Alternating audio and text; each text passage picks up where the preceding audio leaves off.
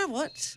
When it comes to curling your hairs, it's hard. Like I've tried those curling ones that like you, it's like a stick and you put it on there and you pull it out. It's meant to curl your hair. They don't work.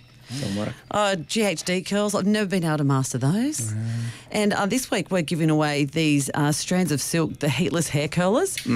And when I heard we were giving these away, I was like, oh, it's just another one of these things that oh. won't work, mm-hmm. doesn't curl your hair, too hard to use. You know, you see like the, the little the reels that people do them, Yep. and that it looks like it looks so easy. Mm. And Yep. the reality is never that. Yep. Well, I thought I'd take some home yesterday. I'm like, I'm going to try these out and just see.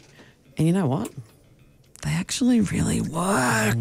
Mm, they actually really work. So it took me like 20 minutes. 20 minutes. You dampen your hair, then you put this thing over the top of your head and you clip it in place. Mm. And then you got to wrap your hair around it. And I left it on for two hours. A few moments later. And like, I when I went to trivia last night, so many people commented how nice my hair looked, and I was like, "Oh my god, it's these curler things." Let me show you the end result, Damien, because I showed a video.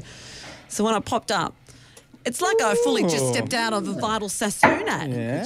Full I curly know. whirlies. So it was so easy, and I'm I'm challenged when it comes to doing anything with my hair. I could not believe mm. how good these worked.